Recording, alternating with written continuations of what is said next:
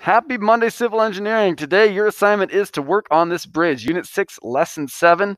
So I'm just going to show you just a couple things. The constraints are here. Once again, uh, you make sure you go to Amazon Web Services, click Engineering Applications, and then West Point Bridge Design, and it will take you into West Point Bridge Designer. I have loaded up a bridge that I have created. Once you are happy with something um, that you've created, make sure you're looking at the cost up here and then sort by compression. And right now I have a 0.64.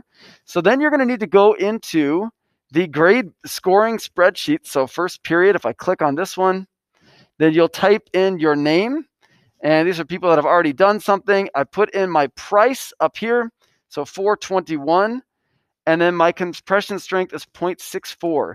So just use the first three numbers of the cost 421, 0.64. And if I type that in there, 421.64, I can see it. I have a score of 17.8. So then screenshot that. That's a pretty darn good score.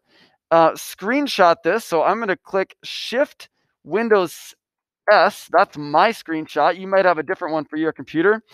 And I want to make sure that I get the cost up here and the compression results on the far right hand side. And I would also really like to see the bottom to make sure that the bottom shows 40 meters because if it doesn't show 40 meters, then you have not selected the right defaults and you're going to have to redo this thing. So make sure that it shows 40 meters.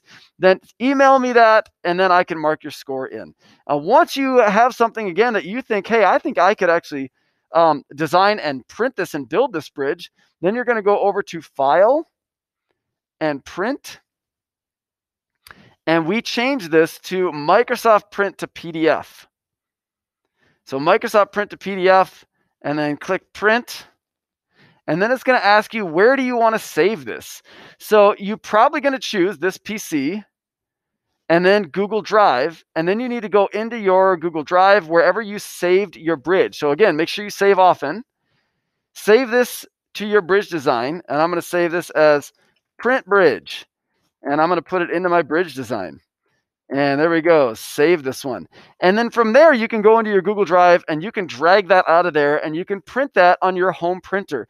If you don't have a home printer, then we can print it here at school. And if you're at a permanently at home person, then uh, you can send it to me and I can print it and you can pick it up with your materials. Um, for pickup, we are not going to have material sitting outside the engineering wing because I'm afraid the glue is going to freeze and it's going to ruin it. So we're going to have to do materials pickup while we're here in the building. So you'll have to come either Tuesday or Wednesday between school hours, and we can talk more about that later as well. So that is what you need to do for today. Make sure that your bridge is done, your score is on here, and you've emailed me that image. And once you've done that, you are all set.